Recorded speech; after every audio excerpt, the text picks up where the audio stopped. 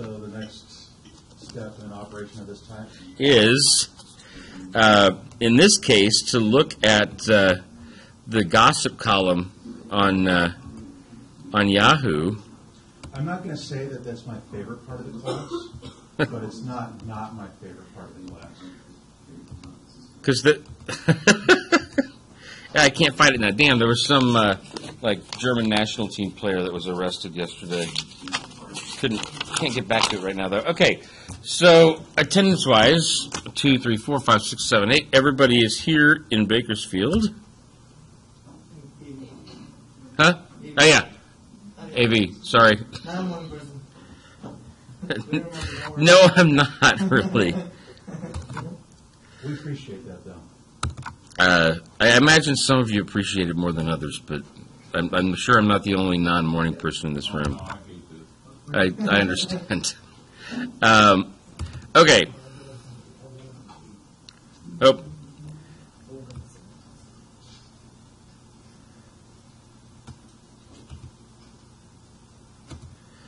So, AV.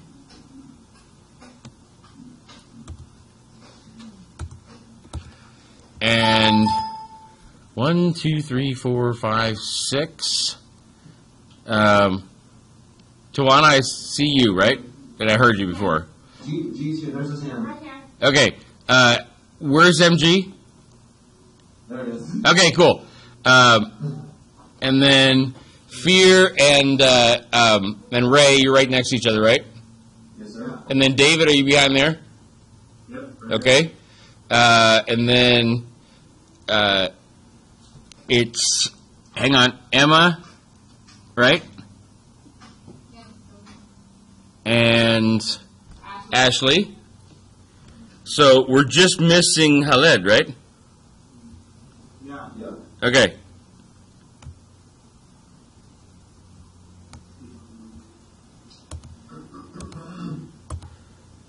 Cool. That's easy enough. Um, so, uh, as I mentioned on uh, on the email that I sent, actually not the whole class, but all of AV, and then another one for all of Bakersfield.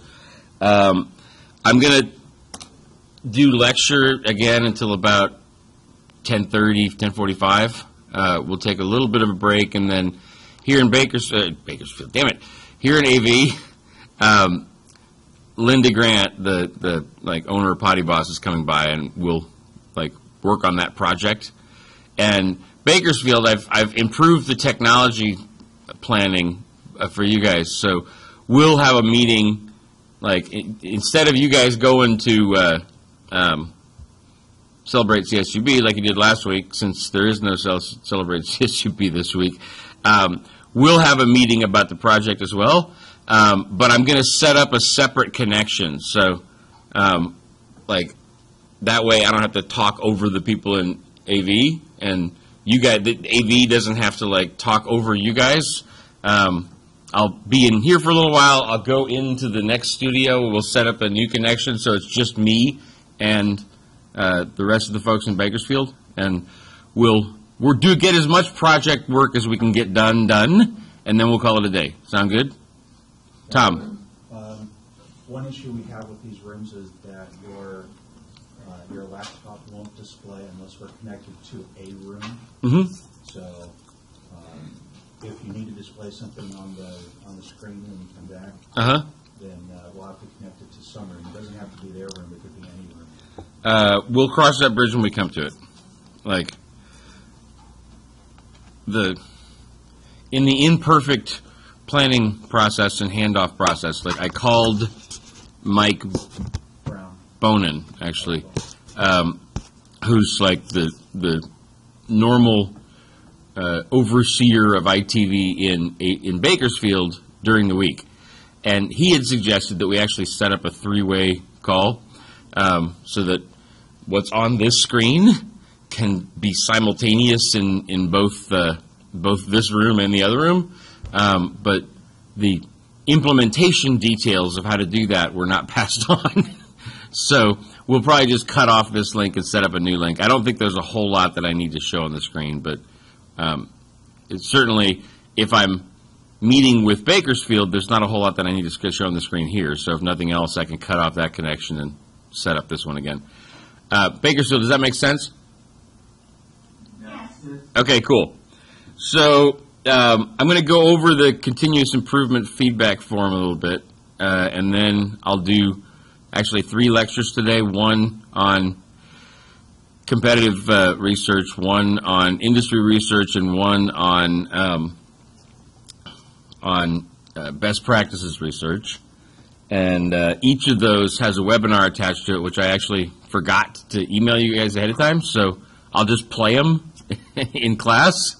Um, and uh, if anybody has any questions during the webinar, then raise your hand. I'll stop it and answer stuff. And I may stop it and point out a few things, but I'll just let them run. They're only about 10 minutes each this time, so that's that's a half hour. If I talk for an hour with the lectures, that brings us up to 10:45 or 10:47.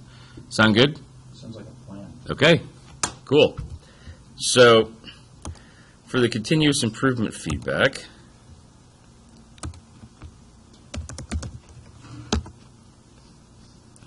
there wasn't a lot of it last night, actually. Those due? Uh, well, it's not like graded, but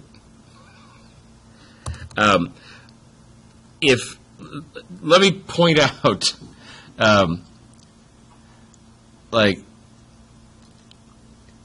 if you want to give me feedback on this and it's not in there yet, um, I'll go over this again. Um, either, let me see. I'll go over this again the week after next. Okay?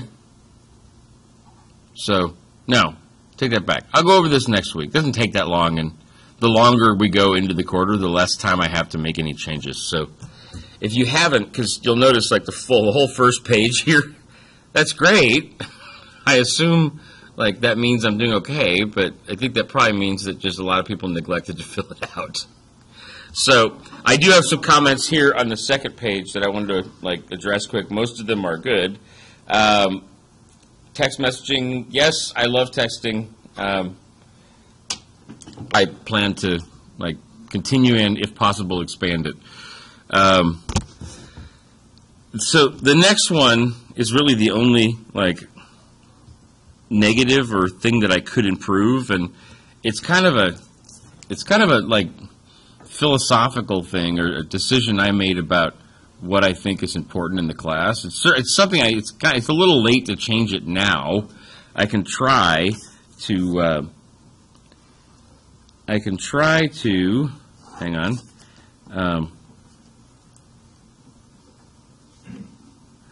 post a little bit more of the instructions going forward, but basically, you know, the half of your grade in this class is the the um, implementation project, and um, you know the the greater the extent that I have all of the details like pre-programmed and pre-planned for the implementation projects, the less they are like the, the less they are actually real projects, and the more they are like paper tiger projects that are produced solely for the exercise of doing this class. And my my preference is to actually do real projects for real companies that like produce real value in reality. Um, so sometimes, and my my ratings, like I, I was really bummed. I looked at my my my SOCIs for this class last quarter, the worst I've ever gotten. Um, like if they keep being that low, then I'm I'm gonna have to like switch and like not do projects anymore. Um, I think I think the chaos of of the project details changing all the time like drag those down, but um, you know I, I could actually have every single thing that is due for the quarter pre-programmed ahead of time, but if I do that, um, it's actually not reality. I mean, the reality of small business projects is that they constantly change every every week, and you got to roll with the punches. Well, the, the, I think the issue that we have with reality versus academics is that, is that uh, our, our experience of academics is that everything is, is set and planned whereas um, you tend to have a little bit more of a free-flowing stream of, of, uh, of work. So, Everybody, I think, scared of like a Olson shenanigan. well, and, and it's, and I think another part of it For that me? A lot of us are. No, just because in he's, he's general. like that. He's Dr. Olson. He's very like Very loose and this and that, and everything's fine and this and that. And then at the end, he's like, "Oh, by the way, we're doing all of this right now, and get it done, or you're gonna fail." Or there's, or there's, or there's Yeah, like like- some key detail that he. he that leaves out until the last minute. Right, and, and I think, I think that, You're waiting for the shoe to drop. I think that what people are most concerned about is, is that normally we are graded on results. Mhm. And, and you can correct me if I'm wrong here, but at least in these, in, in an operation of this type, Mm-hmm. right? Um, I think we're graded more on our effort. I'd love to grade on results at some point in the future because actually, that's the only thing I hold my, myself accountable, uh, accountable to. At the end of the day, when I'm telling success stories about this class and putting things on like news releases and stuff, if we didn't make money for somebody, or we didn't save somebody money, or we didn't create value that I can attach a number to, we basically didn't do shit in here. So, like, I, I hold myself to that, but I'm not gonna I'm not gonna hold your grade hostage to that. Um, so, um, my my goal is to be able to say, hey, we made somebody fifty thousand dollars on this project or whatever. Um, that like, if we can say that, and you know it's true. Um, you know, like just spike the football, do a touchdown dance, let's all go home. Like that's that's that's that's the accomplishment to me. I mean, I want to make sure that I get some details done in here, but if we if we create something of value that we can all put on our resumes and be proud of, uh, or at least if you don't want to put it on your resume because it it moves in a different direction from what you're trying to story you're trying to tell, at least it gives you an opportunity to say, you know, I did this and it was good and in the right context and the right networking. Um, but given the comments I got last quarter, like I'll do as much as I can to like make things clear in this class, but I, I am going to do some thinking over the summer of, if nothing else, like I'm I'm not satisfied with the the the level and quality of the businesses or the projects that we're bringing through this class at times. I mean, at, at, at first, it was great because any project is better than no project, but the, I, the bar has been raised at this point, in my opinion, and like, I'm, I'm gonna, I'm gonna pre-screen people. I'm gonna pre-screen people and only, only businesses that I think like are really worth it are gonna be projects that I work on in this class. There's some, like, there's some lingering, um, like the edible garden project, awesome project. Um, Linda's project, um, cool project. Um, I think she has some unrealistic. Uh, I think she has some unrealistic expectations about like her, how quickly the money's going to come through and how, like, how crowdfunding campaigns really work, um, and we'll we'll create as much value as we can for her. But you guys will see in the project meeting, like, I think I think she's planning on the crowdfunding paying for the products to be produced in China. Um, and there's ways to make that happen as long as you've got, you know, at least a, a dozen or two dozen um, products that you can um, show people and you can start to send out to the most, like, demanding donors or the first people. But um, that's really dicey. So, um, you know, the first thing we're going to talk about in the meeting part of this is I told Linda to figure out, like, you know, what exactly do you, what's the minimum amount of money you can send to the Chinese so they send us a bunch of toilet seats? Because I think we need to send that money now.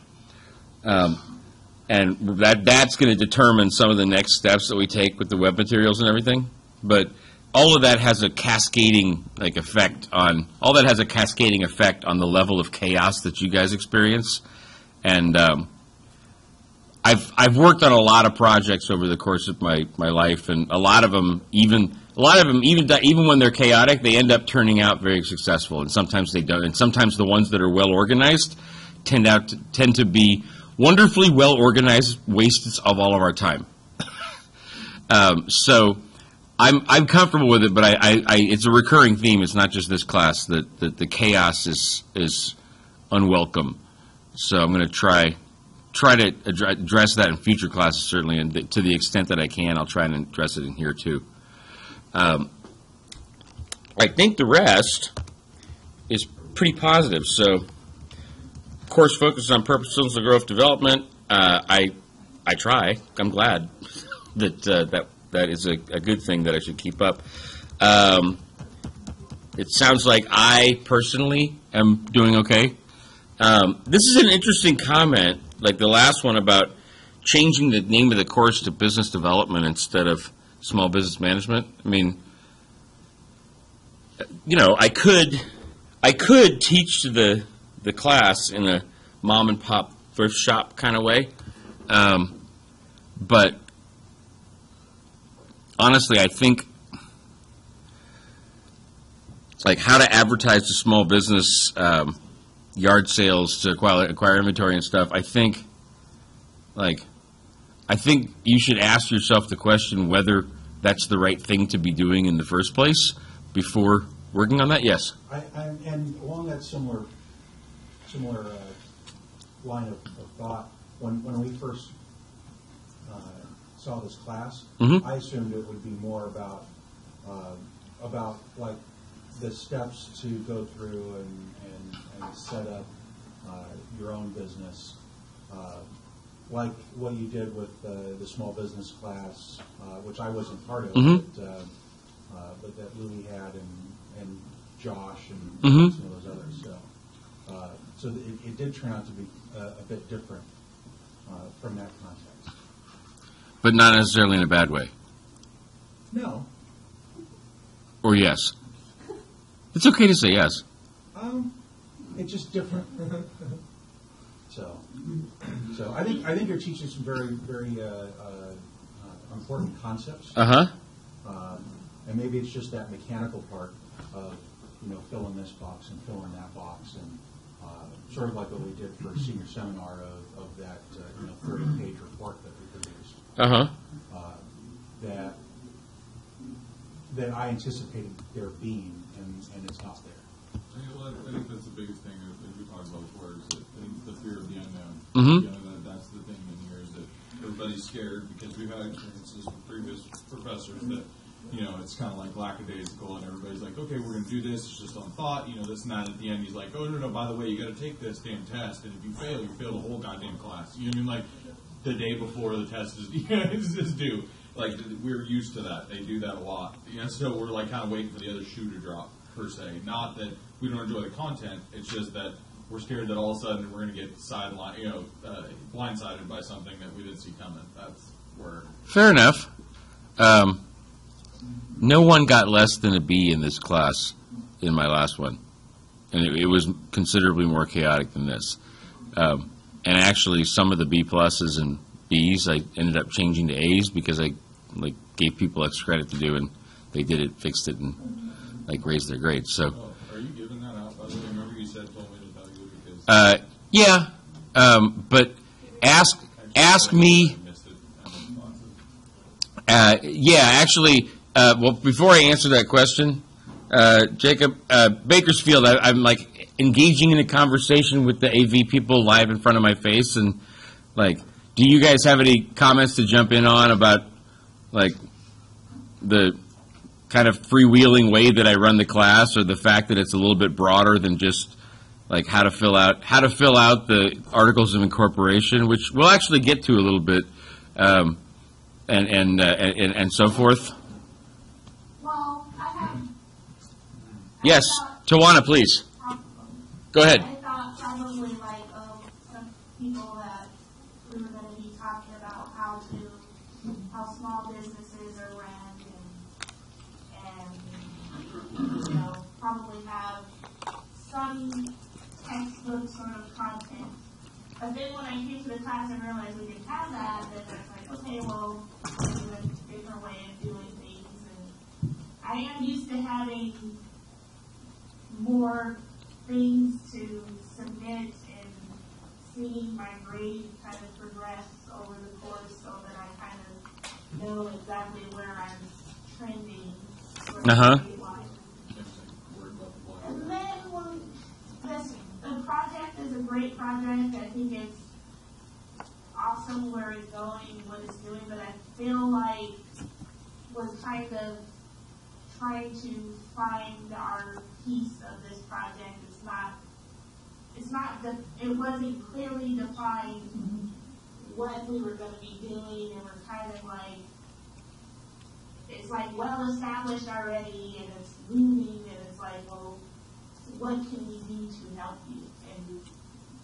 I don't know, kind of like, and maybe we should have started with a, a fresh project that was kind of at the beginning stages of it so that we could kind of add more value to the project, maybe, I don't know, I'm just, I'm just throwing it out. Uh huh. Because the project is already, I mean, Derek and Evelyn, they've kind of got this thing already. The monies are, the bulk of the money is already raised, the prototypes are done. Mean, a lot of it is a done deal already. We're just taking more of a supportive role Uh huh. in the project as opposed to kind of developing and kind of. But I guess it's hard to do that when the class is only so many weeks. And So maybe it's expected that there will be multiple classrooms working on it, so. I don't know. Um, yes and no. It's uh, it's all like food for the hopper here for me to think about how to make things better. Um, I'll, I'll explain my my thinking about like the projects, but I, I don't necessarily disagree with you. Um, are you there now? Okay, cool. I got before I forget. I thought I thought I noticed. Um, okay, so I don't know, was the project kind of in advance, maybe before, maybe we can kind of have something that specifies specifically what we're gonna do? mhm. rather than going to, uh, you know, already saying, yes, we're gonna do this project, and then trying to determine as we're working on the project what we're gonna be doing, I guess. Um, Like maybe Evelyn and Derek could have, before this class, you know, started, and you said, well, I'm gonna have my students work on the edible garden. Let's talk about what we want them to do in advance, mhm. so that it's already kind of in stone, and we're not getting with them asking, what can we do? It's already planned what we're gonna do. Yeah, I, I get it. Um, I I'm going to think like Tawana. I'm going to I'm going a I'm going to try to provide as much structure because honestly, I have a I have a relatively detailed list of like next to dos for you guys at this point, and we'll go over that in our meeting later. Um, and same thing for uh, for the Potty Boss project. I have a relatively detailed and, and accomplishable list of to dos at this point. Um, but yeah, like I, I'm going to think long and hard about how I can make how I can have everything set up and kind of like connect the dots fashion um, before the class starts. But honestly, this is this is what real small business projects are like. You know, you jump in. Honestly, like it. This edible garden project could end up being one of the biggest feathers in all of our caps that are working on that project. I mean, and you're riding the you're riding the coattails of a two hundred thousand dollar donor that somebody else found. But that doesn't. Nobody cares later whether you're riding the coattails or not. Fact is, your name is associated with the project, and you are adding value. I mean, when we go over the details later, there's a lot of value to be added. And if I had planned beforehand, we could we could make a really nice like gingerbread house that no one asked for, but we can plan it really well in advance. And like sometimes I can get a hybrid of both, where I can predict really well what's going to happen, like before we do it, and it still adds value. But um, like Like the meeting with the chancellor. And remember you asked, you said, oh, Did- a couple of the Bakersfield people. Did you go to the meeting with the chancellor? I wasn't invited. Did I just show Well, nobody nobody was, Tawana. Don't you have to have like a table and they have to know you're coming because there's. Well, yes, but basically Evelyn and Derek didn't want us there.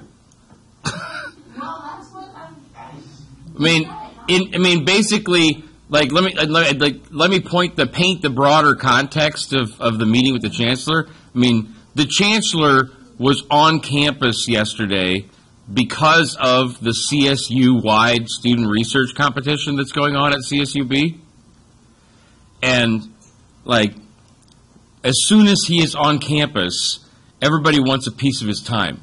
So the entire day that Chancellor White was on campus, they had they had an hour uh, where he had an open forum with faculty, so the faculty could basically complain about everything that like they don't like about what he's doing, and then there's an hour um, that he's got uh, an open forum with students, and then he's actually got a lunch with students. But like when we say lunch with students, it's lunch with like all the students from CSUB, and he's going to be sitting at one table. Um, people are going to kind of like rotate him around a little bit, and you'll have all of about 30 sec, like you'll have all of about like 10 to 15 seconds to say, hey, yeah, we got a community garden project going on. It's going really well. Derek's leading it. Smile, Derek. You know? Um, so, and if you say the wrong thing at the wrong time, or if like if it, seems confusing, then um, then the, the the image left in Chancellor White's mind is that it's, it's chaotic. So, Evelyn and Derek had their their little like puppet show well planned for the Chancellor, and they just didn't want to complicate it by having the rest of the team there. But if it were a real meeting with the chancellor where we're having like you know half hour hour discussion of the project of course it would have made sense to have everybody there but in this case it was just a it was a chance for like a less than two minute uh, like brief like smoke and mirror act of showing the chancellor hey we're doing something cool um, and it's important that we had a presence for the project there but the more people that are present the more the more chaotic it'll seem. Does that make sense? Yeah, I see that. So, um, but I, I get it. I get it. And like, I, I think as you guys go on, you'll find that like a lot of, like the more innovative, I mean, whether you're doing, like I said at the beginning of the class, um, you know, doing a new project within a larger company is a lot like running a small business. Uh, I think you'll find that um, the more innovative the project is, the more um, like independent or small uh, the business is, uh, the more chaotic and unpredictable things are, and you have to you have to bring in structure to it. But uh, uh, sometimes, if you bring in structure too soon, you actually like you, you you build the wall of the house where the opportunity is outside, and what's inside is like a really nice, uh, but not very valuable.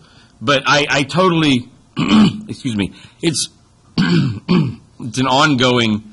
Uh, it's an ongoing challenge for me. I uh, I will try my best to make things as predictable uh, predictable as possible.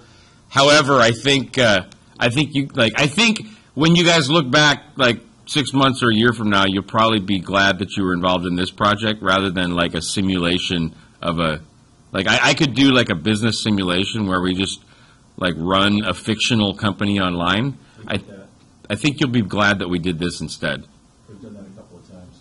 I'm already glad that we did this instead. So, uh, but Tawana, I I I, I Those online ones are awful. Just so that, just up front, set up goals. uh huh For the, set up goals for the project that we can measure. uh So that at the end of the class, we can say, yes, we fulfilled our obligation, our goals, we had two or three goals, and we completed those things, and it was all good. Got it. Uh, I can do that. I think I can do that now and more in the future. Um, I mean, I, I mean, I, yeah, the project is great. It's a fascinating, um, it's what they're doing with the garden. It's amazing. I, I think you guys will find. I'm glad you think so, and I think I think you'll find uh, a whole bunch of new useful details in the project meeting we have later. I want to make sure that I get to the actual lecture, but I, I, I like this discussion, and I we are gonna like I'm gonna before I forget. Um,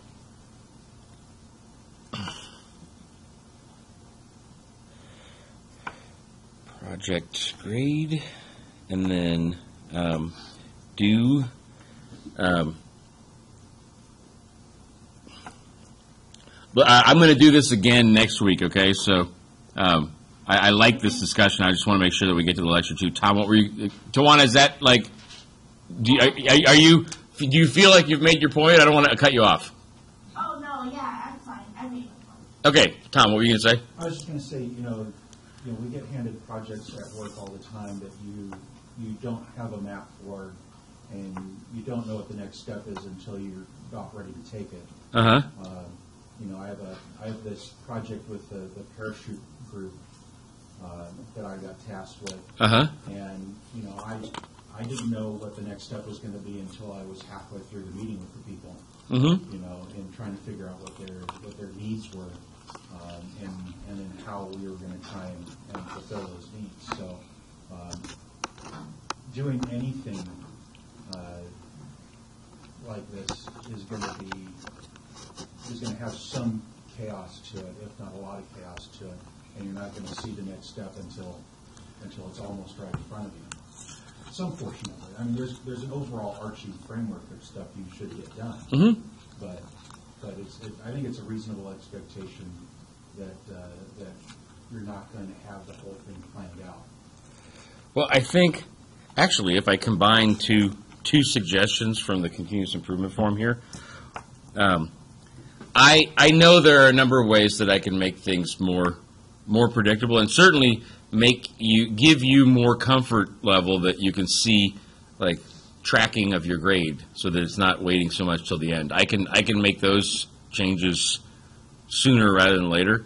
Um, but I think it would also be helpful if I put, like, if I describe in the syllabus the level of chaos involved in projects, and that it's, it's to be expected. It's not, it's not an accident, it's part of the way I run things. I think that would probably, like, if I mention that in the syllabus and the course description, and um, I, uh, I mention it up front, then it's less of a surprise when people realize that we're not, we're not doing uh, as nearly as predictable of projects as you're accustomed to in an academic setting. So I think that would probably help set expectations better in the future as well. Um, Anybody else want to make a comment uh, this week before we get back to it next week? I want to make sure that I get through the lecture and we'll get on to the project meetings. Um, Sure. Ray, is that you? Well, Okay, what's up? I, I, I personally like the broad scope of this class. Mm-hmm. I feel like my grade is largely dependent on, upon the contributions I make. Um, I know we, we haven't really uh, set a standard way to measure our contributions of the course, Mm-hmm. but I still like that it's kind of a hands-on approach, like our meeting on Monday. Um, I, I, I didn't uh, provide anything that will help the community garden be better, per se, but it was still, I think that we still uh, understand the purpose of this course, being there. You know, I, I see what's going on, and just being a part of it. Uh-huh. So uh, I'm okay with not having a set uh, standard measure for it, so long as I have an idea of what to expect when my final grade comes. Um, regardless, this is an elective course, so we don't expect the uh, course majority to be extremely overwhelming. And then uh, just to touch up on that little paragraph up at the bottom there, Uh-huh. I really like that this class is uh, more business development related as opposed to small business management Mm-hmm. Because I personally will never uh, open a small business, so I don't want to know how to get a business license or find a good location or get a good price on a lease building. So I like what we're doing here instead. Um, So that's all I wanted to throw. No, thank you. I, uh, I think, practically speaking, the name of this class will remain small business management for at least another year or two, maybe three, because that's how long it takes to change the frickin' title of a course in the, like, in the, like, maddeningly slow, complex, and inflexible bureaucracy that is the Cal State system. Uh, and it's not just Cal State, any bureaucracy of this size has the same issues. Um, but um, I imagine I'm going to have to work around that. But eventually, there is a process where I can kind of broaden the description and scope of the course. Um, I don't know if business development is quite the right term either. Like, I want to. I'm not sure, but I, I, I agree that the, the title is probably misleading, and um, I, I will look. I will look into the process of like what, what in in the bigger picture. We're actually looking at adding more curriculum to the small business focus. Like now that now that I'm here, and I can start finding more adjuncts. Uh, like theoretically, it'd be great if we hire more tenure track faculty to teach this as well. Um, I that's not going to happen in the next like two or three years. It's going to be me and a cast of my friends. but um, it, that's it, that's frustrating. I, we just had a meeting about our we just had a meeting about our our like once again lack of a dean in the College of Business. Like Did you just hire a new dean? Yes. To replace Emery? Yes, he had to, he had to step down for health reasons. Basically, we, we, we, uh, basically, we, we, we, we, like, chewed him up and spit him out in six months. All right. Um, So is Stark now acting dean again? he is the acting dean at this point. Um, that's, that's a complicated answer to that question, but basically, I don't, like, I, I mentioned, I, I mentioned in the meeting that we had with the provost yesterday about this, that, like, I don't really give a damn who the dean is. And I don't give a damn what the process is that we choose the dean. There's a frickin' vacuum of leadership right now. And, like, there's a vacuum of support for creating value for you guys in the teaching, for the projects with the community, for fundraising for the university, and the way that we actually get more faculty, expand the offering, and do this the right way um, is that we bring in we bring in public-private partnership money, kind of like what we did with uh, uh, with the Rudnicks, but on a larger scale. You know, we we we bring in money from um, Chevron. We bring in money from um, from various like defense-related uh, companies. We, we bring in money from uh, hell. We bring in money from Virgin Galactic, you know, um, and we expand the offering. But like the whole College of Business and in general, the whole damn university is too busy too busy talking about how we should do things to just go out and go out and do it. You know, like we'll talk about how to do something for years and never frickin' do it. Um, and like that's that's beyond my pay grade right now. I spoke up and there were crickets chirping after I said that in our meeting, which is indicative of how big the problem is and how high it goes. That no one else agrees with me on this frickin' point. But um, Or is willing to stick their neck out? well, yes, that too, Tom. Um, as as you guys, You don't have I am I am I am always willing to stick my neck out when it comes to like your guys' impressions of my class and and the the ratings I get or how I speak up to my my colleagues and people in the community. Like I will like I will call it the way I see it. But yeah, some of my colleagues are not not as open on uh, not as uh, like willing to stick their neck out like that. Anyway, I want to make sure to get the lecture. I love this conversation. Let's do another maybe half hour of it rather than 45 minutes next week.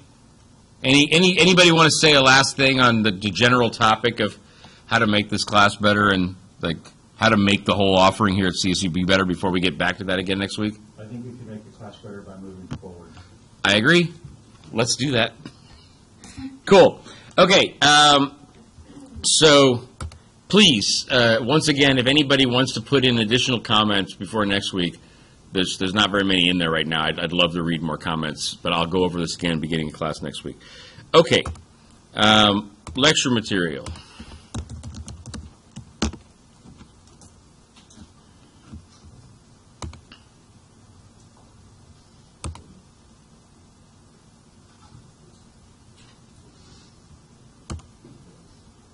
For the final exam, Yep, um, that toolkit that you have, because you kind of go over, like we talked about a little bit earlier, there's no textbook. There's, will you provide, does that toolkit out- outline provide just kind of everything that we need to refresh ourselves with? Because we cover a lot of different discussion during the class, and I want to make sure I just drill into kind of the areas of focus yes. Basically, basically, Tawana, um, like study the. If I hear, if I go back to this thing, like watch the webinars, like know what's where, and be able to go back and like reference it. Um, that's probably seventy-five percent of of what you need. The rest is. Uh. The rest is exactly what I outlined about the specific slides that are mentioned here. So, lecture slides wise, I have some questions that are about like the details of patent and trademark searches. I have some questions that are about the detailed elements of guerrilla marketing campaigns. I have some questions that are about um, the what's most we'll go over today what's most important about a, a uh, competitor uh, a market positioning map and i've got some details about um, questions about the details of um, ratio analysis and, and, and like financial planning that uh, will be in the lecture slides next week everything else that's on the test is contained in these webinars. Does that make sense? So if you're familiar with the webinar and you know basically where to go in the webinar to find the two minutes where I'm talking about this or that, like if you're familiar with it ahead of time before you start the test, then um, you've got a little over two hours to answer 20 questions, and you can pretty much like just go to the point in the webinar that uh, I'm talking about that stuff. And Oh, so we can use, it's an open webinar? of course, okay, I'm going to go on with the lecture now. Okay, thank you. No problem. Does that answer your question? Yep. Okay.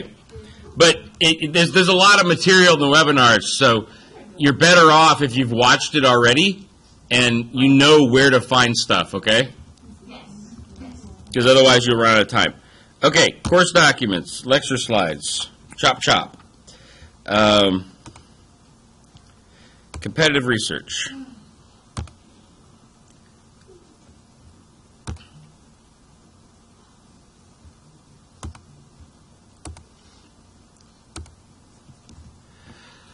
Okay, so the the first thing that I want to talk about in uh, in the lecture slides here is uh, putting together a competitor profile. Like there's a lot of there's a lot of material in the um, ah thank you, Serena. Um, there's a lot of material in the uh, the webinar about the details of finding competitor information, but broad brushstrokes wise, I think it's really important to be able to fill out a profile in, in effect of your key competitors. Uh, and these are the questions that you want to ask yourself.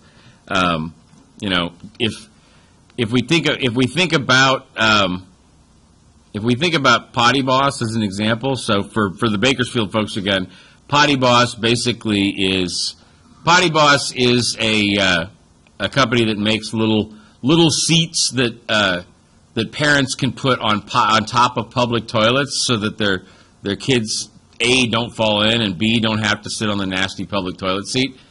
Um, but they have they have different products. They have the actual seat. They have like shoulder cases that you can carry things in. Um, they have like a docking station so that if you're actually like out in the woods or someplace that doesn't have a public toilet, you basically use the use the bottom as the as the pot.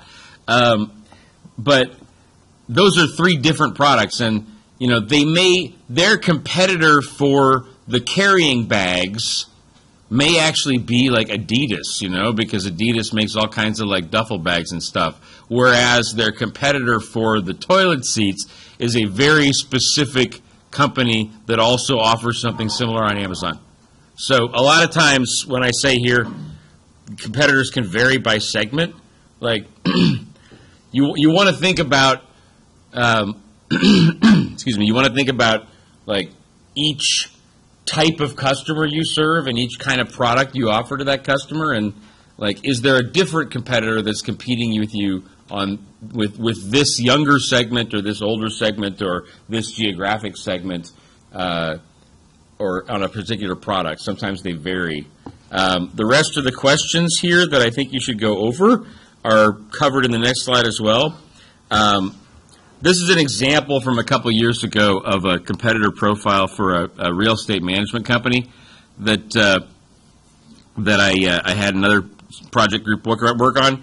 Um, the, the the things that are really important to me are a like what exact pricing does your competitor offer? I mean, what's the basic what's the basic product feature benefit that they offer? So, um, you know, the image is important. I really want to know though, what is the product they're offering? You know, what's their price versus your price? Where are they advertising? And what are their what are their major strengths and weaknesses? Like about for any of your major competitors, I want you to be able to tell me this is what they offer. You know, our yes. What's that? Uh, on Blackboard. It's yeah, it's it's on Blackboard under like guerrilla marketing and competitor uh, c- competitor research. Um, you know, you got to be able to tell me this is what this is the basic product that this competitor offers. It's worse than our product like this. It's better than our product like this. This is their price. This is our price. They advertise in Facebook and on Google and word of mouth in, in with these groups of people.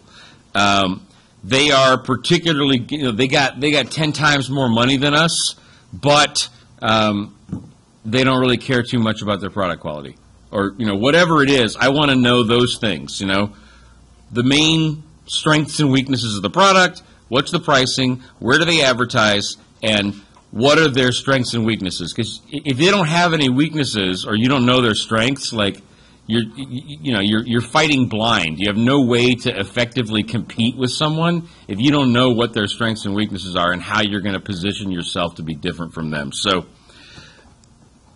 that's that's the main important stuff that I want you to be able to tell me about your key competitors. Finding information about competitors, there's all kinds of good sources. That's actually um, what the webinar is about. So I'm going to go over these bullet points more briefly, and then let the let the webinar run. Um, Mergent Online, Nexus, Le- LexisNexis are, are um, and and Orbis, Reference USA. There's a number of other sources. Great for finding basically the the number of employees, the the like contact information, who the actual owner's name is, um, basic level of revenues. Um, you can get an idea of the magnitude of a client and who some of the major players are um, from on, on any company, pri- public or private, large or small, by using these resources. Um, social media, you can find out a whole hell of a lot. I, I've got that covered pretty well in the webinar too. Google searches, especially if you know what you're looking for, can pop up some good stuff, even on a small, hard to find information on com- uh, competitor uh, et cetera, et cetera. Chambers of commerce and industry associations also really, really valuable. Um, market positioning maps. So, um, talking Tawana talking about the test and what's what's important, what's on it. Like, what is really important to me about a market positioning map, like everyone take note. This is one of the things on the test that a lot of people missed last time. I want differentiable, non-obvious X and Y axes. Okay, so if I, if I actually switch the, if I switch the camera to the podium, can you guys, I can't see my own, do you see me if I'm standing here? Okay, good. So, like, a market positioning map is basically just X and Y axes, uh, where you're comparing two or more companies on some factors that you you decide yourself.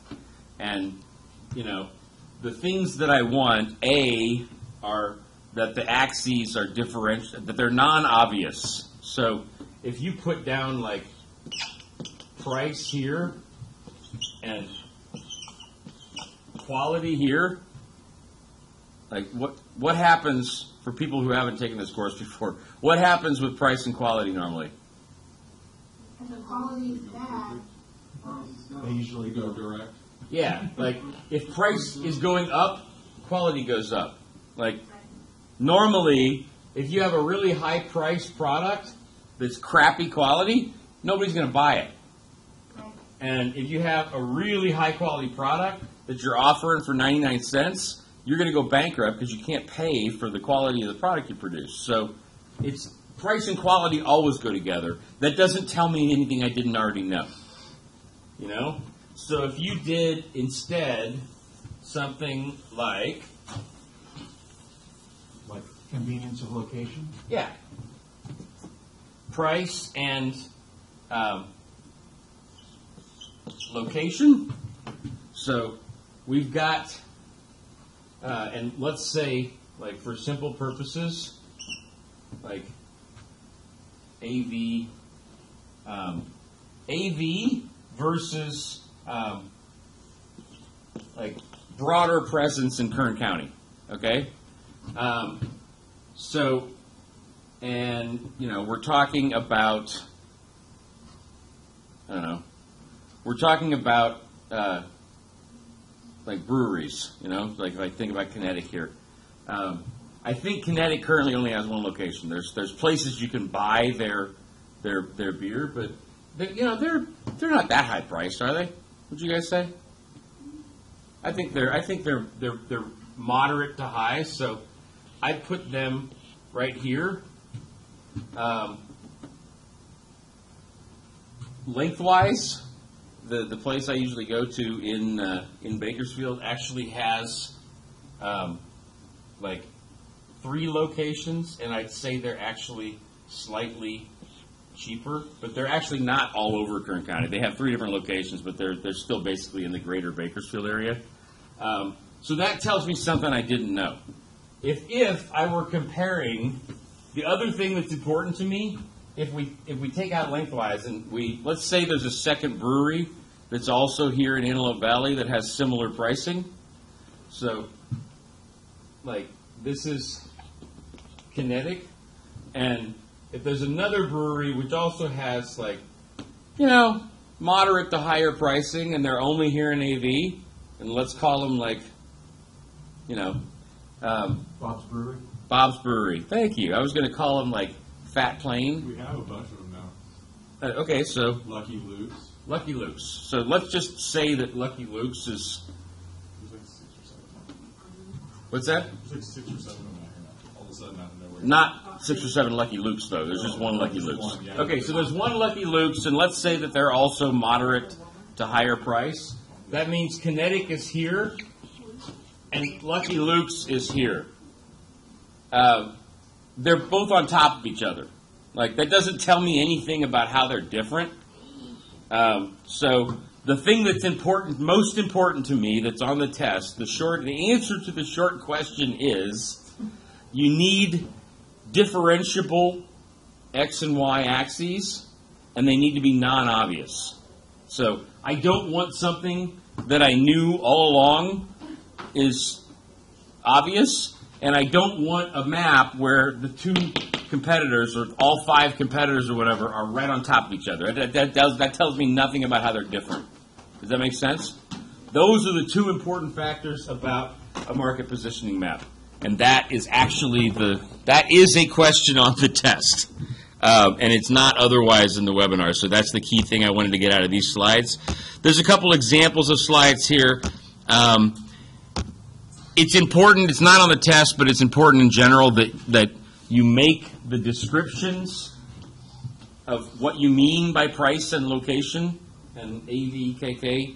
Like, it's important if you're actually describing this to someone else, investors, partners in your business, you got to describe, you, I might know what I meant by AV, but if I don't write that down, like 30 minutes from now or two days from now, you guys may meet, forget what, AV is pretty obvious, but you may forget what I meant by KK.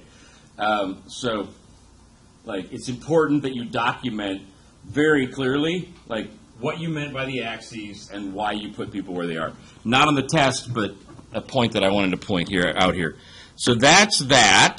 That brings us to 1007. Um, let me play part of, like, I'm going to fast forward a bit. You guys can watch on your own later. Um, everyone, uh, Bakersfield and AV, I didn't send these to you ahead of time. Um, so I'm going to let them play a little bit more right now, but in the interest of time, I'm not going to like play all 30 minutes of the, the, the webinars. Please make sure that you review them sometime after this class and certainly make sure you're familiar with them before you take the test, okay? Okay, so competitor profile searches. Let me pull that up and uh, just point out a couple things. Okay, so for my next webinar, I want to go over just a couple things about, me, doing competitor uh, research on uh, uh, on both LexisNexis and Google. Again, I, I went through this stuff in class, but I'm not quite satisfied that I got to the level of detail that I wanted to. So, um, just a couple things here.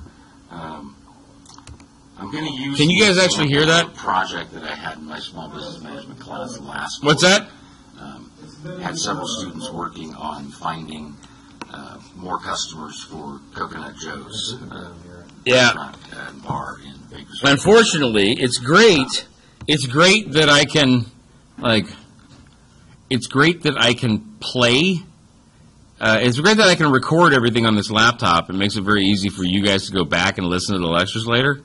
Um, I'm still working on getting the volume to work properly here. So um, rather than blowing time on that one, you can watch these at your convenience at home. Um, let me point out. Um, point out without the audio here. Just go through and make sure that I point out a couple of important One of things the about things this. we want to do when, as well, so, um, first of all, we'll go to the library website for Cal State Bakersfield. Go to the library there. Okay, so Options. there's a part of this. There's a part of this webinar that goes over uh, LexisNexis in particular and how to how to do a search on any competitor. I mean, they could be a completely obscure name of a company. The cool thing about LexisNexis is that you can actually find like, another. information on obscure small competitors. So We're gonna type um, part of the part of the details of this that I want you to make sure to pay attention to are Every how do I actually how do I click the buttons properly to find information on a small competitor on LexisNexis, and then um, what information should I expect to find there? There's certain kinds of information that are standard in a LexisNexis profile. There's other pieces of information that are not. So that's basically the first important thing in the webinar. Um, the next important thing, um, I go through some Google searches a little bit, and I I illustrate I illustrate what you can and can't find uh, on on smaller privately owned competitors in a Google search. Um, so, in general, you're going to find a lot of information in there. Like if you do a search on anybody, you're probably going to pull up some links to their social media pages. There's a lot of information you can glean from that.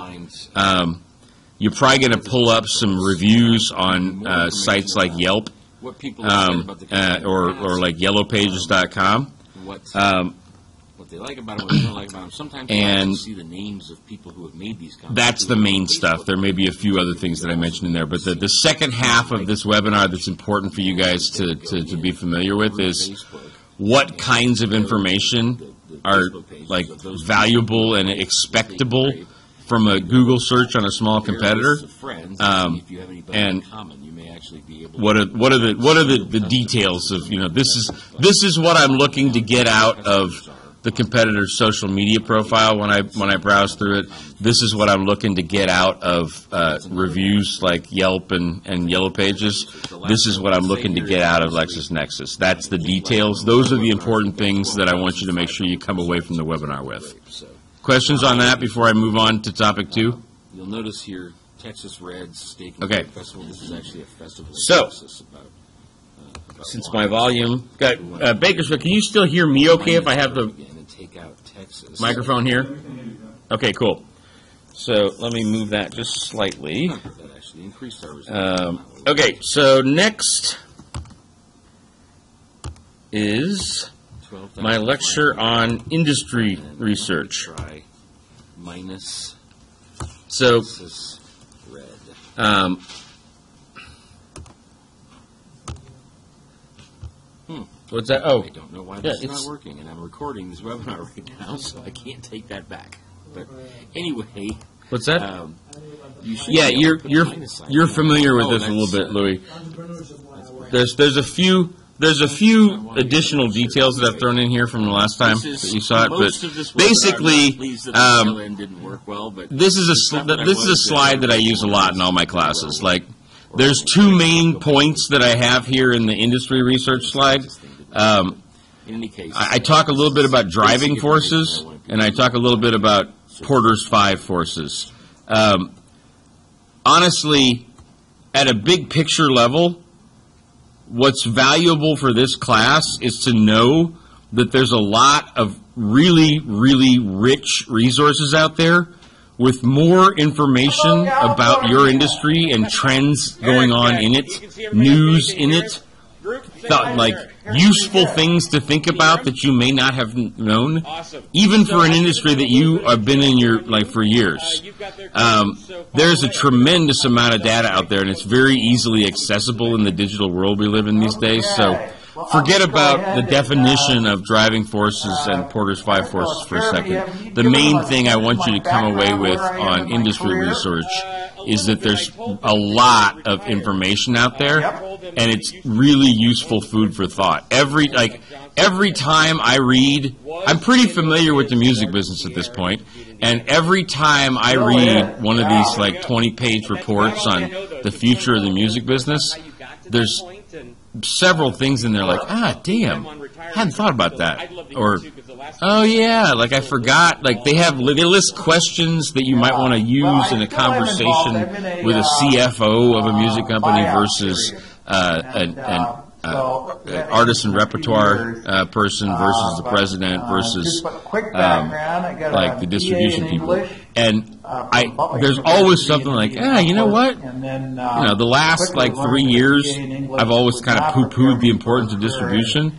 Ah, now And so I was, I was mm, like, you know, now it's relevant in a new way. Um, so yeah, good, good that I no- noticed that. There's a lot of great information out there, and um, Porter's Five Forces. I, I'm I'm getting more and more away from putting much focus on that, but a lot of investors, a lot of sort of like people that are eventually going to look at your business plan and, and find legitimacy in your business. Um, they all grew up having that like framework drilled into their head. So if you're able to say competently, this is what Porter's Five Forces look like for my project, my industry, whatever, um, it gives you a certain level of credibility with people who all like speak the same language and they all they all sort of like which really cool. um, they all robotically repeat the, uh, the, the, the lessons of to, Five Forces. um, So uh, I don't see a lot of value add in that uh, compared to just the general information that you can glean in, in reading the trends parts, uh, parts of these reports, at but. We Porter's called, Five uh, Forces is a useful and tool to be able to speak a common language with a lot of investors and, and uh, much smaller um, player and in Indiana, sort of much strategic smaller planners. client, So, and uh, um, yeah, yeah. We got a thousand. I'm not going to spend a whole lot of time on the details of history, driving forces. I've talked about that in some of my and, other classes. They're not uh, particularly today, important to this you know, lecture in this uh, class. Uh, what is important uh, is this is where you find them. So uh, those of you who have taken my class before are probably familiar with this, but those who haven't, uh, first research industry profiles is where you find really great information on and, driving forces, uh, trends in the industry. Um, I've put a link in here so you can go find it. You just go to the webinar, click on, you go to the, the slides, click on the link that's in there, and it'll take you right to this page. Um, I'm not going to go through it more right now because that's actually covered in the webinar, but um, really important that remember the name of that database and use this link to go to it. It's a really, really useful database. Um, so industry associations, amazingly chock full. Of, there's so much. There's an industry association for everything out there. I'm sure there's an industry association for like favorite clients, the FC like, Tucker Company, which is the largest real estate firm. Color in branding of some, uh, like some uh, computer monitors. Some I'm sure there's like the National Association so I, of Computer I, Monitor like computer monitor color ma- uh, uh, marketing, um, and they probably have an annual conference somewhere. I'm delighted. Um, and there's at least one or two people whose full-time job is to sit around and like put together information on a website about new trends in like the, the like color and packaging of like computer monitors. Um, it's it's amazing how much is out there for any given industry. There's somebody that's basically spending their full time job coming up with a bunch of like useful factoids for you. So you're, you're going to always find great information with an industry association website too. Um, right here, these links, um, which are also copied and repeated in some of the other slides later on, great tips on how to do Google searches like more effectively. Online, so uh, um, I go over the details uh, of some of these in the webinars, but I just want to point out for those of you who um, are less familiar with like how to make your Google and search a little bit more refined. Enough, and it's very um, hard, and, and, depending on what you're looking for. Like if you put in the if you put the minus car, sorry, the minus car, the minus sign in front of a word, um, it will filter out any result that does not, any result that contains that word somewhere on the page. And, uh, um, I've talked a little bit about quotes. Um, asterisk is actually kind of like a wild card, so if you put an asterisk in, it will get you anything that has the two words surrounding that asterisk. Um, there's a, if, if you type in site colon and then uh, the name of a website after that, it will just search that website. Uh, etc., etc., etc. I go through some examples of this. Tom's the one that originally like turned me on to some of these things. I I was sort of prehistoric in my Google searching a year ago, and. Uh, like there's some really cool operators that help you do a lot more effective Google searches. So um, if we go back to the slides for a second, I've given you four here. This life hack and digital trends. Those are both articles that give you a bunch of like tips on how to do more effective targeted Google searches um, good stuff. Uh, I cover the details in the webinar, so I'm going to keep going here. Uh, Porter's Five Forces, um, this is what they are. It's basically, for those of you who have never taken one of my classes before, it talks about like the structure of any industry. So, you know, in the music industry, for example, buyer power buyer power like is relatively low supplier power is communications and marketing, I think it's kind of a given. I would say learn um, more about the field, both moderate, but it's actually practice. deceiving to say that because sometimes you have really weak suppliers, and sometimes you have incredibly powerful suppliers. So uh, it, uh, it, it kind uh, um, of balances out. threat of new entrants is pretty high now. It didn't used to be, but the costs of uh, of doing high quality music recordings have dropped dramatically. So it's really easy to get into the business now threat of substitutes is hugely high and higher than it used to be because there's so many compelling entertainment and leisure spending options in our, our society these days. And then rivalry. Um, I'd actually say rivalry is a little less intense than it used to be because a lot of companies went out of business, so there's, there's actually not as many Yeah. players left standing. Um, but anyway, in any given industry, it's about how powerful are the buyers of the product, how powerful are the suppliers to the company that makes whatever the product is, how is, easy is it to get into the business as a new competitor, um, how how how mu- how how Um, much do substitute You know, products would- exist out there in the market, and then how intense is the communications, so rivalry between sure competitors in the many of you industry? are, uh, Um, in that, but I think Business Source Premier, which I'm not sure if this uh, link works. Yeah, the number one, I gotta update that link. Basically, I describe in the webinar how to find Business Source Premier. Um, especially, um, But I'll, I'll mention, I think I described it, but just in case I don't, I'll mention it again here. uh, If you go to the CSUB generally in our website, mm, I'm, this, this you move up lecture is being recorded, so if you can't remember what I said, you can go back and look at this And they all again. think they're the Um, if you go to the CSUB website and click on library, Incredibly organized. and then you go What to I used, articles and uh, databases, was, um, um, lists. You can then And, uh, sort databases by title up there at the right-hand corner of the screen.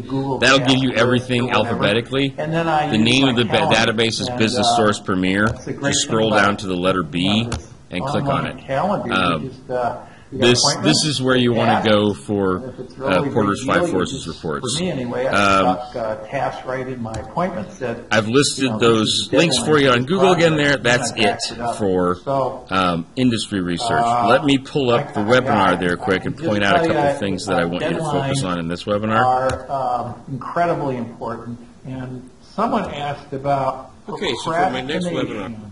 Page that says. Okay, so um, I go through the details of See it right away. So one of the things that's on the, the, the, the, the test that, that I want you guys to come away from, from this class with the, the skill for is to be to a know what information is in Research industry profiles. one of these The- the industry only upside reports. So um, is that, uh, there's lots of other examples, but so like that I think are useful for you. But on the actual uh, test uh, is a question about what kinds of uh, information can you find mechanism, but it in a first industry research uh, profile? Notice Um, and I go through that in this And, webinar. So Um, I would, request to. I would be much more. just to make sure, can like I suggest that you open up one of these for your own industry and browse through it yourself. I think I actually recite in the webinar each of the major categories of information that are in these reports.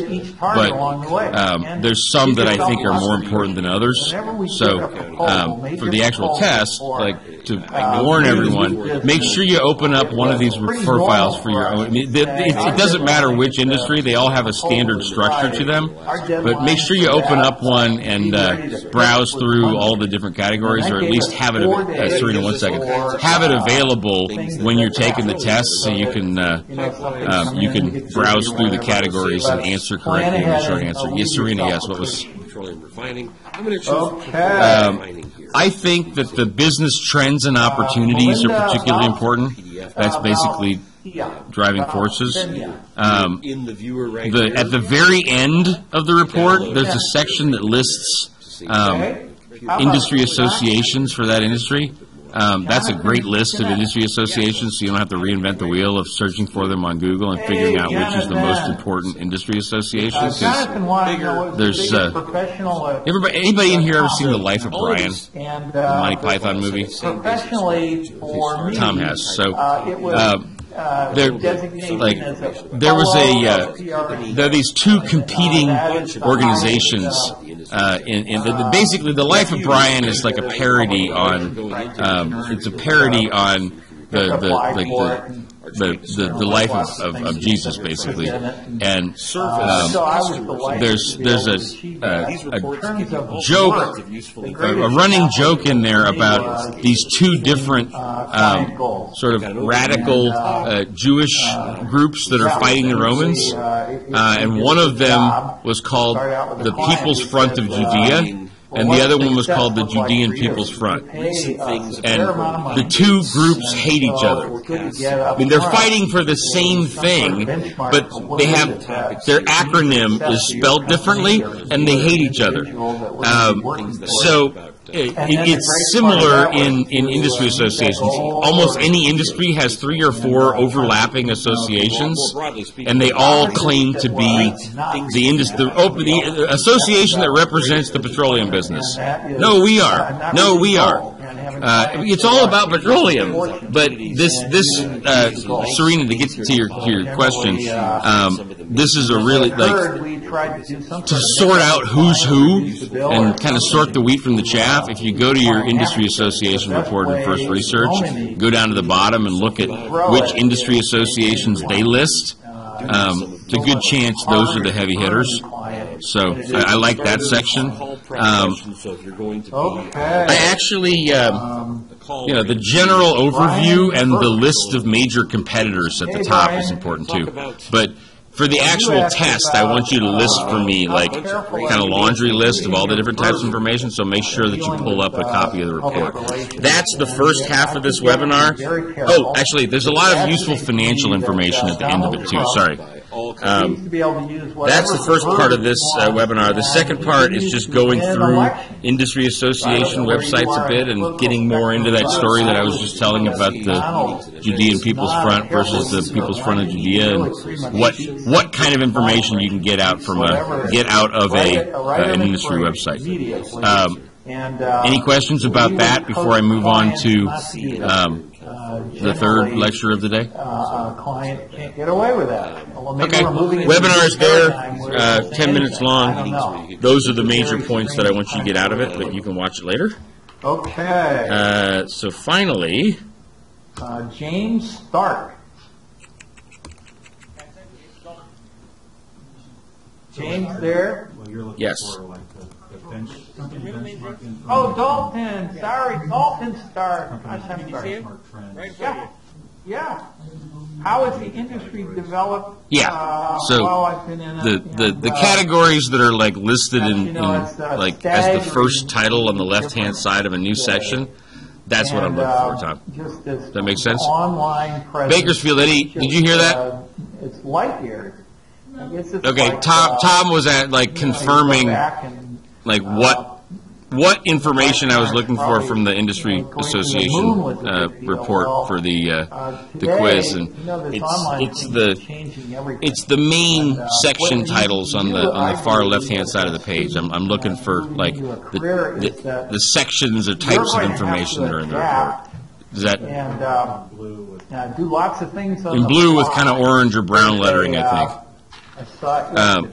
So that's that. Any other questions from Bakersfield about industry research? uh, But in the Tuesday Gannett, Okay. uh, on Voices, Then they had a guy Let's move on to HR systems, insurance contracts, legal research. I. it's kind of like I think this is true the everything in the kitchen sink research, all things operations. I mean, sometimes HR is going to be the most important thing. You need to be able to go out and find somebody to to hire for your small business. Sometimes, like you need to get a contract done, um, but you got to wear all these hats a lot of times when you're running a small business. So um, these are all to me broadly, excuse me, broadly stated operational issues. So uh, I've got them all in one lecture. Um, how to do things on the First of all, uh, just a you know generally talking about HR planning, and you know honestly, I hope that we can talk about this a little bit in the group meetings later because it's it's it's relevant for any project, not just for um, for for a small business. It's just as relevant, or perhaps even more so for uh, and I guess it's always uh, innovative projects within an existing company.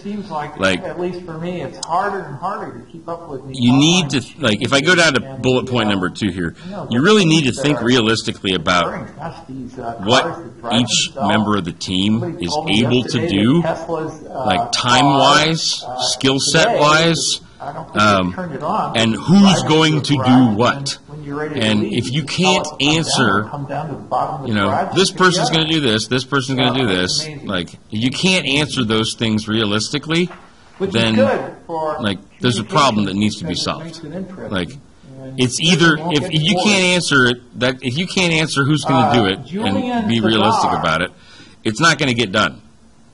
Um, so, Star. Thank you uh, for your question. You I, I think when it comes right down to it, the biggest issue of would you rate HR is being realistic about okay, And I think, yeah, here's our baseline goal, here's our stretch goal. What do we have to achieve to move the project forward? um, You know, what would be nice to have, and who's going to do this when? Like, this is one of the reasons why I wanted to ask uh, everybody in each class, like, when are you available? own a company, Because I know everybody has real jobs. Like, as I grew like, my career, when I it's, my it's been a learning process for me too, realizing with the MBA classes Uh, that basically, got home at five o'clock. like the entire normal business But as I day, and none of you are available. Uh, You know, this may not be that's that's not something I'm used to with the undergrads, and it just And occurred to me after the uh, first class, crap, like I got to change uh, how I run this. Um, we were a young agency so and we didn't make a That's lot of money. factored in now, but um, you know, I figured that out as soon as we started going through and assigning tasks on the projects. Like I always brought my dinner, lunch none of the tasks are getting done because they need to be done during the day, and everybody has to be at work. It's not surprising. So uh, the, the the key point here is just be really realistic and, and don't leave any black boxes. Like you know magic will occur here, and then the project will be successful. enjoyed- I did a Uh, really important to be able to articulate exactly who you're going to use, and if you can't articulate who's going to do it, um, either it's uh, not going to get done, or you uh, need to go out. You need to accept the fact that it's not going to get done and reset your expectations, or you need to go out and find somebody to do it. And um, depending uh, on your project, your small business, um, I've listed sort of the the normal ways to go out and find more project team members. visual identity and all Um. Kind of fun. I've also listed for everybody here, you know, it useful. I- I've kind of pre-screened some of these. I got five different, five different websites that all provide uh, hourly, like, a la carte labor. Um, like, de- depends on which one. Time, time, etc. is basically U.S. based. Uh, tasks every day is largely um, like one-off a la carte projects tasks, uh, largely from people in, in India. Um, get a- um, uh, five Fiverr is actually like it is what it says. Like people people are like it's stuff people are willing to do for five dollars and above. And you'd be amazed, like if you need somebody to like fix the, you know, fix some of the the, the, the color graphics on a screen. Depending on how skillful people are at that and how fast they can do it, you know, they, they might take ten or fifteen bucks and okay, yeah, done. Um, it's amazing some of the resources that are out there. So I, li- I listed these for you guys just as a as a resource to, to, to refer to in the future for outsourcing labor. It is Um, rare for an organization not to go. Management and operations best practices. Uh, and we Um, worked, one of my first crises, I had a like, client that. we have a uh, pretty strong uh, relationship with the Society for Human Resource Management, especially on the main Bakersfield campus. So And one of I've become a little bit more familiar with them. clients or customers There's a lot. If, if you just go to their website, there's it's chock full of like best practices and suggestions for motivating employees and how to do like how to find more recording sources, et cetera, et cetera. Um, how to deal with labor law issues and protecting yourself from from like employee complaints. Like it's a really great resource. So. Um, And so we help the client. I've listed that here. Uh, Startup Brothers and Startup Donut uh, are two other websites that just have they have great suggestions on how to run the the, the day-to-day operations and, and human resource issues of your small business. Um, they're, they're both just great, great general sources of, of like best practices. The best way to do this, how to run, you know, how to create a appealing culture in a small business. You know, uh, great, great thought leadership like that. Uh, again, industry associations are great for this stuff. Uh, Google searches, uh, especially if you use the if you use the you know, um, the search uh, filters the right way so that you narrow down from 2 million results to the exact results that you want. Um, very effective. And then for those of you who at some point now or in the future are actually running a small business uh, and need But the media uh, some HR software that actually once you once you have like 10 or 20 employees rather than two, um, you may uh, find that it's getting hard to manage all the issues for, for your, your human resources. And these two vendors here, Really Easy HR and Zenefits, uh, are specifically designed software for HR for small businesses. So just FYI for, for you guys, uh, when you get to that point, when and if you get to that point of running HR in a small business, those are some good resources. Systems. Um, I've listed the basics up here. I mean, you know, any, any the more challenging, but any really one the small business, any project has to uh, have basic uh, hardware and connectivity. You got to have some basic software of- apps for so you can really, almost anything, uh, uh, any project that you do, and some basic data, database management capability.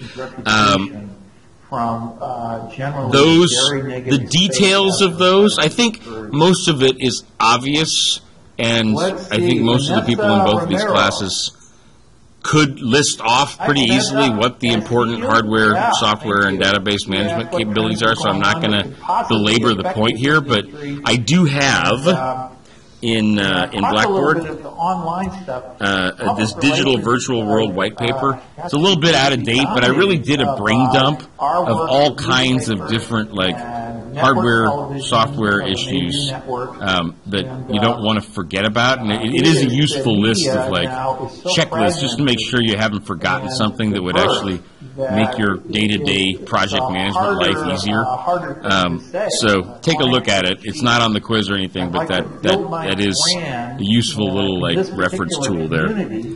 Um, The good part is media, because it's fragmented. I think, like, a little bit particularly when it comes to uh, you might be able um, to that maximizing the way you use hardware and software, I'm constantly like, I'm constantly you have to do a lot realizing like the li- I, I'm constantly uh, hot wiring my uh, laptop to do things that it wasn't originally uh, intended to do. like, you know, And then I realize, crap, that's totally inefficient. I need to change and do it this way. And I'm constantly trying to find better ways to do uh, things. Um, count on these- yeah, and.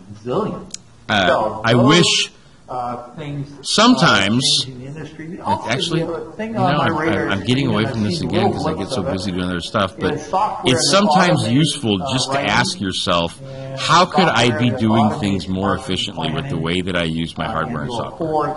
Like, not how do I do uh, this, uh, but how do I do something that I didn't even know I could or should be doing? And. PC Mag and InfoWorld are two uh, particularly good resources for that. Just like it- asking, uh, optimize, like type in something like optimizing small business software and see what comes back. And there's there's a, there's always a new app or a new suggestion for how to how to set up your your your infrastructure so that you're working the most efficiently possible.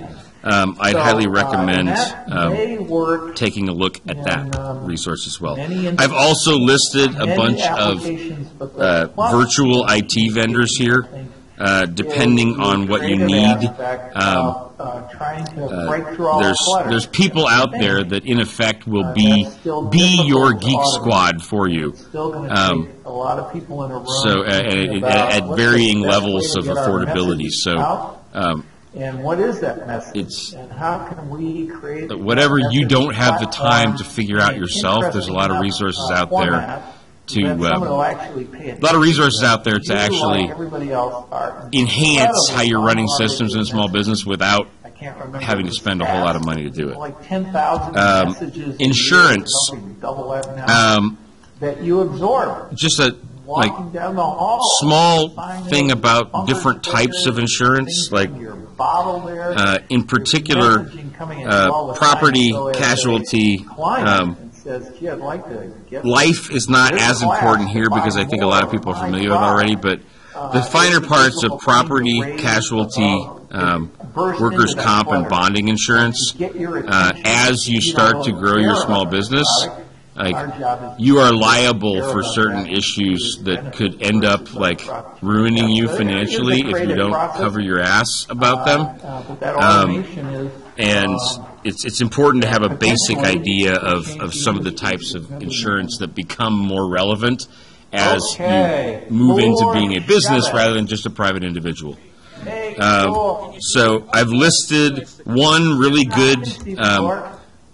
Uh, insurance company here, Hiscox.com, which is specifically focused on small business insurance and like particularly robust offering of property and casualty, which is two of the key things that you're going to need for your small business that you might not need as much of uh, as a, as a private individual.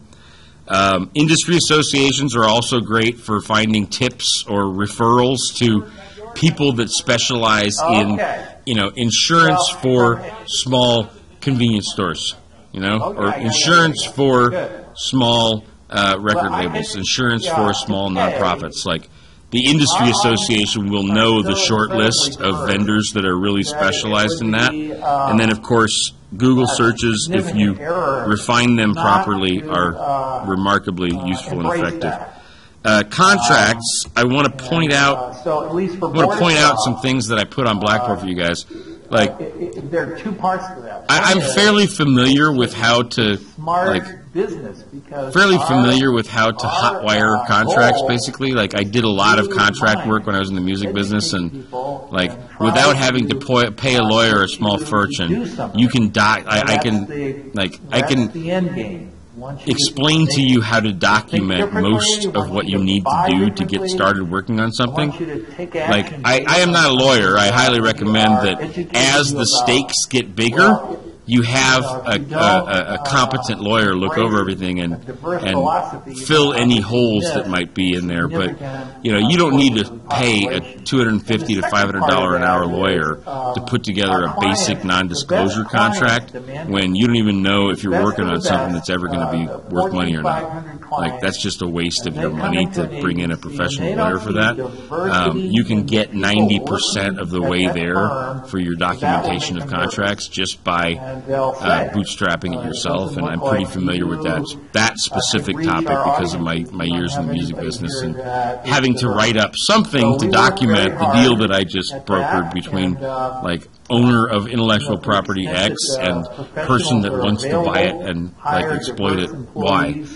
So you always want to start with a template, like you know, 90, different a lot of what you need is uh, pretty standard their to any job. contract, and It's if you start important. with something that And anybody that's is, not doing it. If you start with something that was relevant at one time and you know it's sort of pre-vetted, um, all you need to do is just Okay, swap out the paragraphs that are relevant for you. So if you start with a template, make sure that you just I- document what you know needs to be in there. Wanted what do you think um, is the most and have the rest of it covered by, And I think I um, as much earlier, you need to write boilerplate well. text So and when I got existing template as possible, you get yourself a long way along the way, yes? It was quickly apparent to me and to my boss that I couldn't Um, write very well. That's a good So question. Back Not that I know uh, of, but, get my master's um, degree. I mean, I, in all my time, no one has ever come to me and said, as they had. Jeremy, damn it, you stole my contract Yeah, I mean, format. Um, uh, theoretically, I guess it's possible, but I don't think uh, anybody's going to bother with it, man. uh, it's Um, but it's a good question, Tom. Actually, there- field. And there are It falls within that, like, area of, of, of law. I mean, theoretically, someone could fact, it's copyright a particular contract seen, format. uh, over the years, a lot of uh, Uh-huh. TV communicators and TV communicators, uh, generally, that's not, what you know, their expertise is reading and presenting and doing a good job. I, I don't think you're going to have any problem with that, Like, that's not their sweet spot. as long Their as, like, is- is as long well, as you didn't, well, like, work well with cameras. well. steal the contract, basically. for us to Um, and um, like the contract that you use as a template contains like competitively sensitive information. As long as you're just using the they come in. structure and you're not actually like taking their information about their customers. Uh, it's rare Like the only issue is how are you going to get at it. But if you can get at it, then use the structure, man. I mean, I Okay. I, I, I basically lifted a lot of my stuff from my customers rather than my Uh, competitors, Miguel but Rivera? you know, a lot of them could be my competitors now if I went back into the music business. And it's all, all of us copied this, every, each other's contract formats. Thank you. Your question, what's the key to Yeah, succeeding in pretty your much. field? So, And, uh, going- I does that talked about it a answer little your bit, but I question? really did Um, hard work. going You know that, Going uh, to Blackboard that, uh, briefly, I just want to point out, I added showing up on a couple of documents here that I think will be useful for you. One is a, a general non-disclosure agreement, like this one, uh, this copy that I put in here, it was originally used to, um, I had some, I had some students a couple years ago who were working on a prod, like, they were working on, like, sports marketing project, and they, they wanted to get some financial information from Miami Dolphins uh, to, like, use real information instead of, spend like, 250 bucks an hour for they, they wanted to that's not on like have more effective financial Not ahead of information for them projections, and they needed to sign a non-disclosure agreement what their brain saying we will not tell anyone else the what the Miami Dolphins like the like line item costs are and what their profit margin is because which means you gotta almost all pro sports teams are privately owned. They're very very closed. And know that the Like they, they, they hold their cards very close to their the chest about what their profit loss is and what they uh, actually spend money on. That's why I You can get the information pretty easily on high profile player salaries, but the rest of the profit loss is really hard to get it, get information on. So, um, this was originally used for that, but basically, um, everything in here, if you just change, um, some, a little bit of question. What was the most language about like University of Cincinnati here. You just go in and change Um, who the relevant parties are. Um, and in this case, the You know, I'm topic matter was like course project. But if you change that to, you know, things. One of my exploratory project for the next 12 months of looking at like this potential new venture, um, if you just change a few of the words, uh, this document here will serve 90% of your purposes for documenting, um, so, you documenting know, me, I've like in, with people with who had the idea first, who's actually like education, you get to work the owner of that you might a new venture idea or whatever. And if you want to start getting more people involved, if you have them, so I'm pointing that way, this way. If you want to get more people involved and, uh, um, you're, uh, you want to like document, uh, document effectively that, uh, uh, um, that, you know, it's your idea so that six months later, people aren't stealing your, your idea. uh, Um, sign these were able to documents with each, each person you bring onto the venture, you're, you're pretty good to go. To pass the American Um, Disability so, Act. And, um, you know, for those of That's you that are one example it, of, uh, uh, of a template that I put here for you. Um, there's, there's gazillions of templates out there, but for an NDA, you're pretty good just using what I just put there. And then as a very general, um, That was kind of template. Uh, I've also put in here for you. There's actually a specific template that I used, but a lot of the language you can change to be uh, for any joint venture. This is actually the contract that I used to use for most of my music licensing deals. Um, this was originally between um, a record label in England and me as their representative in Brazil. Um, but if you change if you change the details of the fact that this is about musical intellectual property, um, and I am a sales company, like if you just change, if you keep the same structure and you change what each company owns and does, this is basically a general form that you can use for any joint venture or partnership. Uh, like if, if you if you have another as, as opposed to an individual, if you have a company that you you want to sign like a, a memorandum of understanding with, like you know, we're going to cooperate together, and then you can show that to investors, and it gives you some legitimacy that yeah, we really do have like customers that are going to buy our product, and we have suppliers that have promised to work together with us. Um, this is a good general structure. Just swap out swap out the details of the company names and what the companies do and what they own, and this is a pretty good memor- memorandum of understanding for documenting any like business joint venture between two businesses. So that one's up there for you too. If we go back to the slides, Um, There. If we go back to the slides, um, that's the, the little spiel on contracts. Other legal issues that are important to go over. Um, I haven't like spend a whole lot on, on them to, of time on them today, but they, they may come up for you. They may not. Uh, incorporation, honestly, um, I think it's I think it's tremendously overrated. I mean, there's there's certain there's certain areas where you need a specific permit or a specific government like document in order to be a, a recognized vendor or recognized business in a certain area. But a lot of the time, like. My recommendation would be you don't need to waste a lot of time, money, and energy on paperwork before you know whether you actually.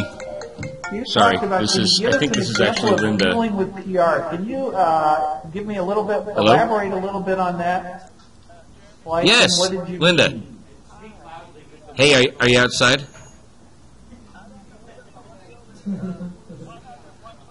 That's that, that's okay. Can, if, if you can uh, if you can wait for just one Yeah, can you second, I I, got, I need me? I don't have about an three more minutes to hearing. finish class, and then I'll come out and meet you. Is that okay? Uh, i- it's just just stay where you are for about three minutes, and I'll come out and find you. Okay. Uh, okay. Bye bye. Okay, that's that's uh, the owner of Potty Boss, like looking for for this class. So let me let me say, um, you know, you could until you start making money, uh, or until you start incurring a lot of costs, which you want to itemize and itemize and deduct on your taxes. Uh, there's really no reason to file articles of incorporation or, or, or a business license or anything unless you are working like in food service or something Well, that I think, requires a uh, particular permit. Um, eventually, you want to do that because you want a you want a separate legal vehicle to run your business revenues and expenses through as compared to your personal ones. But in the short term, you know, you can get started with a lot of stuff without having to do that. Um, when it does come to which type of uh, business to, you know, whether you want to do an LLC or a, um, a, a, a, a, a C corp or an S corp, or whether you want to do um, a uh, sole proprietorship. Um, I have a little, I have another little set of, of, of, of lecture slides on that. I don't think I, I didn't find it was terribly relevant right now because it's until you get to the point where you need to do that, it's uh, it's it's something that it's putting the cart ahead of the like unnecessary costs sometimes to, to do that too early. Uh, taxes, employment law, banks and investor relations, regulatory issues, bankruptcy, um, other topics that are, are important to know something about. Uh, I didn't find them important enough to cover in detail in this lecture, but I did want to mention that when we're talking about legal issues, those are the next things that you're probably want to going to want to go find something out about. And there's great resources out there. Again, uh, for for doing 90% of what you need to learn, find out, and, and organize legally without having to pay a high power like high priced lawyer. Eventually, I'm not saying that uh, you don't need uh, a high priced lawyer. You definitely do, but you don't need them to do all the 90% legwork. You need them to do the 10% expert review at the end. So, LegalZoom, Nolo, Rocket Lawyer, three different websites that have like advice on how to do almost anything you can imagine uh, that you might need to do as legally as a small business, and then once again Google searches. Um, last but not least, the uh, the uh, webinar how do we um, using on best practices searches. This is largely about some particular details of how to whittle down Google search results. Okay, so um, over the course of this webinar, I go through some very specific search strategies on how to use search tools, how to use the advanced search, how to like narrow things down by date range, by uh, putting a little minus sign or using some of the other Boolean operators. The the thing that's on the test and the thing that I like it's on the test because I think it's an important skill set that you leave this class with is the details of how to whittle down using the Google search filters and tools from you know two million six hundred search results to as close to exactly what you want as possible. That's what the webinar is about, and that is is there's a question on the quiz about some of those details. Uh, I'm going to go out, find Linda, bring her in here. Well, let's take a break of about 10, 10 15 minutes, and uh, by 10 after 11, um, let's by 10 after 11, let's get started with the two group meetings. Uh, Bakersfield, you can stay right where you are. I'm going to set up a new connection in a new room for me so that we can talk without me having to talk over the Antelope Valley people. But you guys go ahead and take a 15 minute break or so, and we'll have our project meeting starting at about 10 after, okay? Now, if Cool. And AV, same thing for you guys. Um, we'll, we'll, we'll meet with Linda in about 15 minutes. Public relations campaigns or media, whatever it is What is that? online. Uh, Stop